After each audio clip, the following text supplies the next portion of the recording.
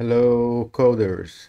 So in this video, I'm gonna show you how to build the project for this series of posts I finished named Data Science and Machine Learning Project House Prices Dataset. So this is a series on data science and machine learning applied to a house prices dataset from this Kaggle competition. It here. This Kaggle competition.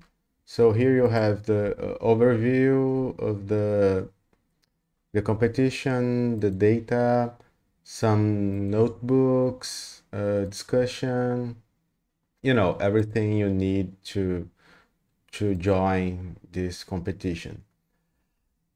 And uh, I wrote this series of five articles.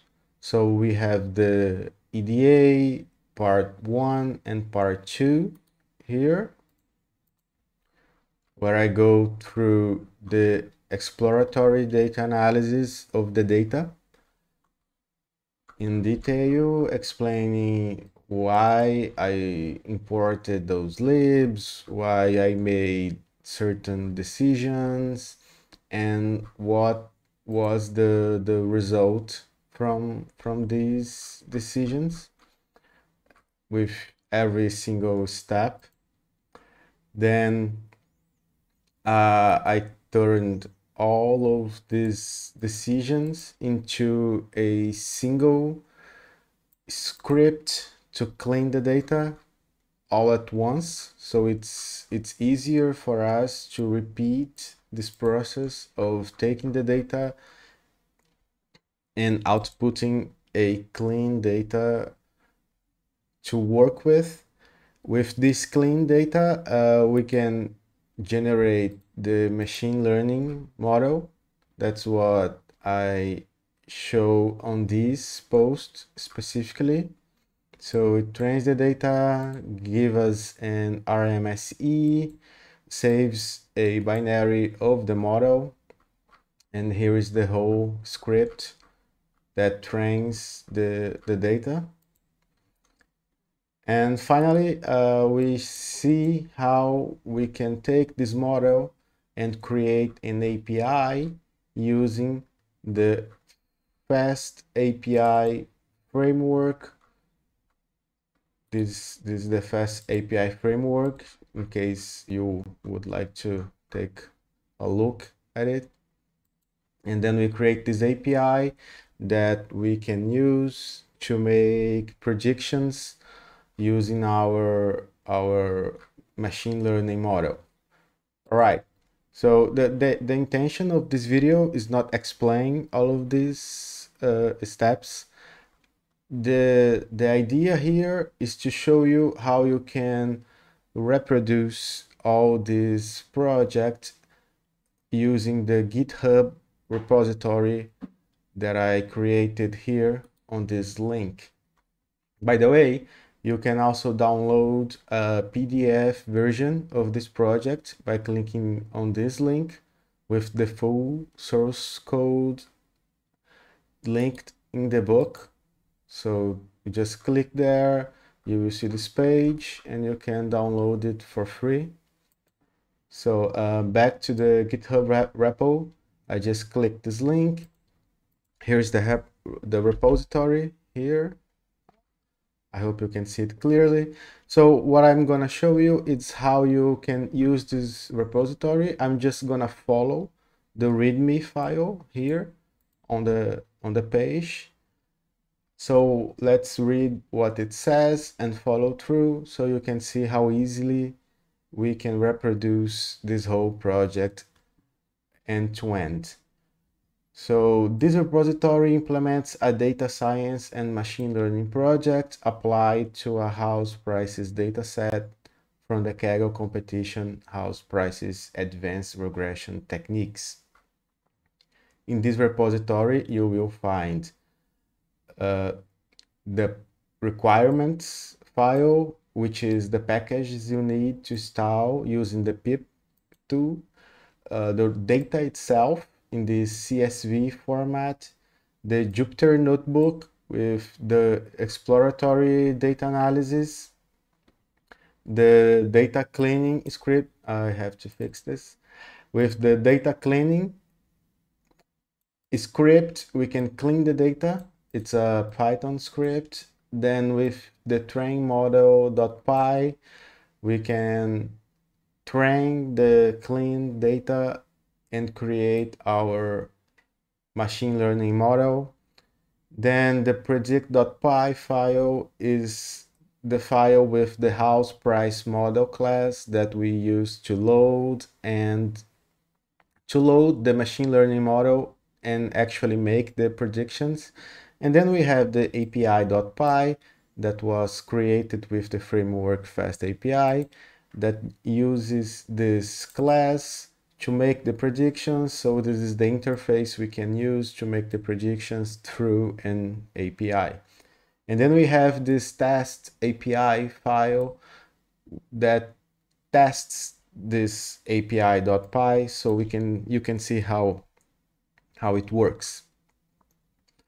So it says to use this data, just follow the, the, the steps in the next sections. So that's what we are going to do. First things first, I'm going to clone this repo. You can also download as zip here. So I'm just gonna git clone all right that was fast i'm gonna get inside so you can see all the files here the api the readme predict requirements everything described here on this list. So let's follow the steps for every single command. So let's create the virtual env to isolate the python project so I'm just gonna copy and paste here. All right, we have the virtual env directory. Now we're gonna activate this environment. Okay, you can see the environment was activated because now we have this venv inside parentheses here. Now we can install the packages with pip install r requirements.txt. This might uh, take a while. It will download all the packages we need and install each one of them there are many packages because we have to load the Jupyter notebook, we have to create models, we have to create the API. So it might look like a lot of stuff here, but it, it really isn't considering how much stuff this whole project actually does. And uh, notice we are using Python 3 here so this is, this is important. Make sure you, you are creating your environment with Python 3. In my case, if I just type Python without this 3, I will have a Python 2 environment. So check your installation of Python to make sure you are using the right installation. So you can see here, successfully installed and then a bunch of packages were installed. Um, and and after the the the command here on the readme file you can see that uh, it says you should see a message similar to this at the end. And then it yes it's it's similar like see babel jinja markup safe. So success. Okay. So uh, the first step here is you can see how to execute the exploratory data analysis that I did in the Jupyter notebook. the file with the EDA, it's this one. So to see this on the, the browser, we can execute this command Jupyter Notebook and then the name of the file right after it. It will take a while and then okay.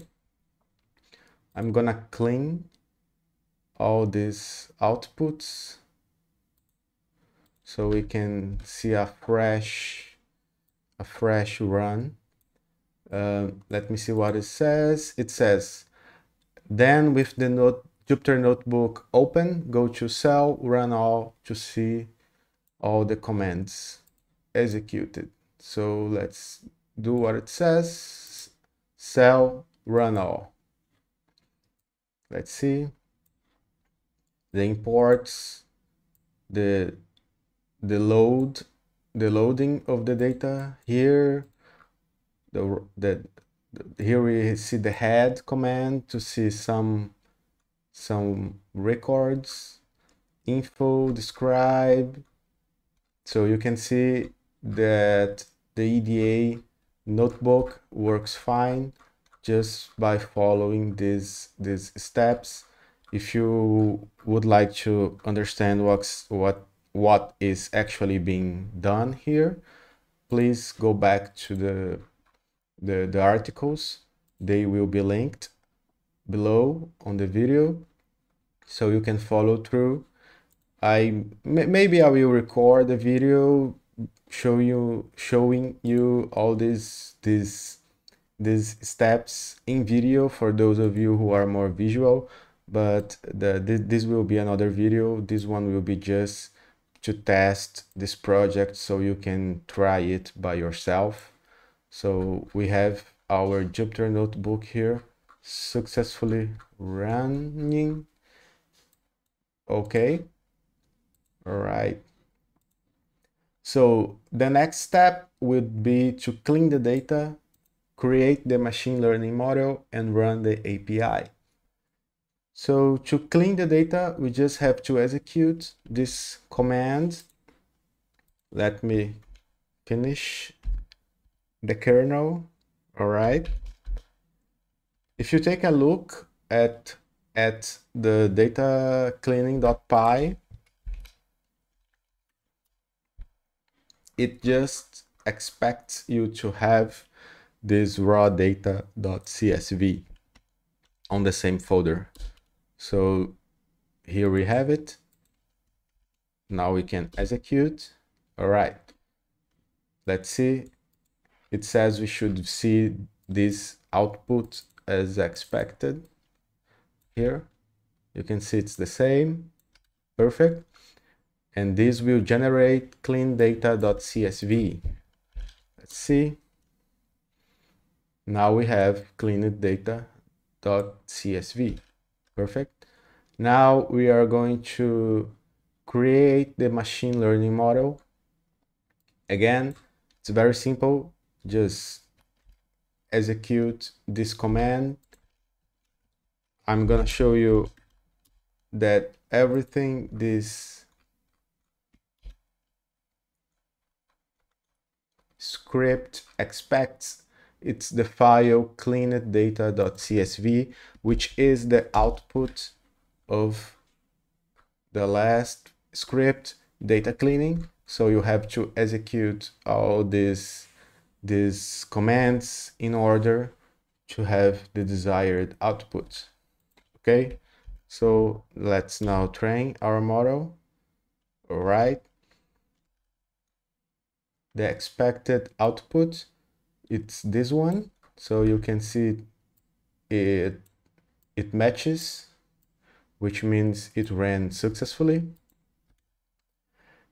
and it says this will create create train.csv test.csv and model.pkl which is the binary form of our machine learning model so you can see that now we have train test and model. So it worked. Now we are going to test this model with an API. To run the API, we are going to execute this uvicorn command here. All right, it's running. So this is the output we are expecting to see. You can see it successfully.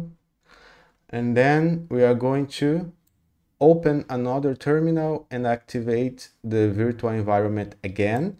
You don't have to install the packages one more time. You already have the packages. So just open another terminal like I, I'm doing here. It's very small. Let me make it bigger. A little bit too much.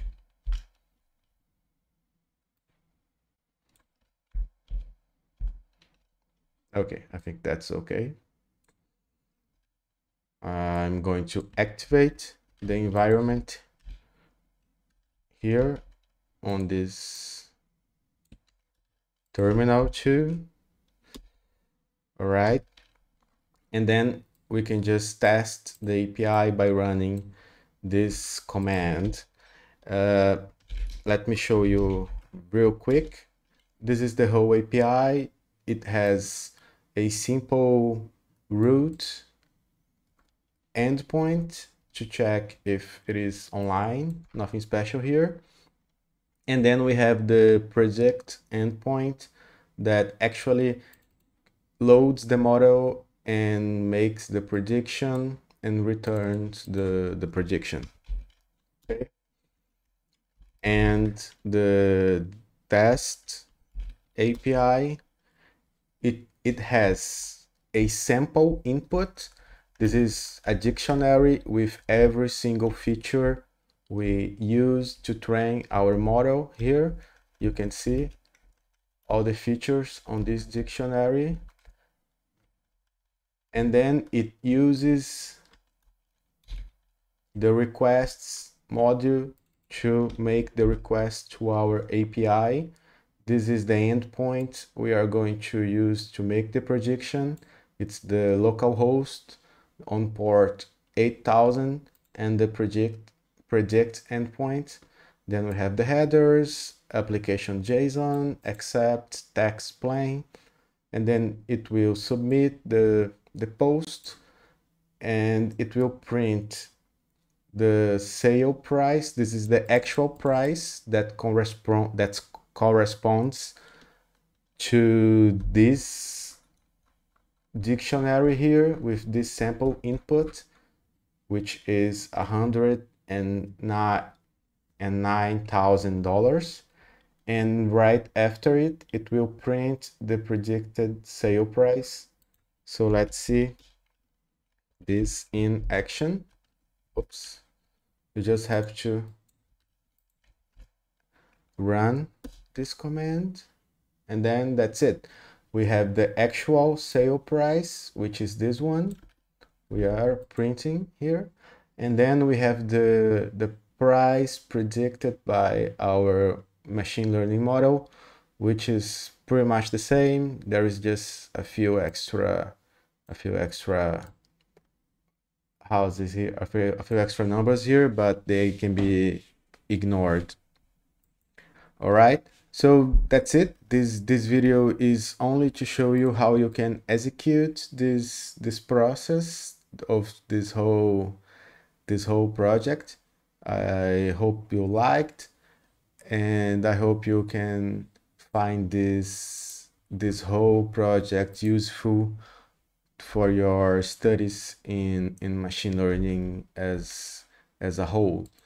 Um, by the way, you can also see how our our test went okay by looking at the the server here running on the first terminal. You can see here post project 200 okay. So it was a successful call. All right that's it. Uh, leave a like if you did. Thanks for watching. Remember to subscribe See you in the next one.